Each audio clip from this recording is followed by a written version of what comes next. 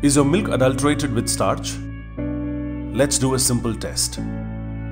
Take 10 ml of milk in a container. Add some water to the milk. Shake the contents thoroughly.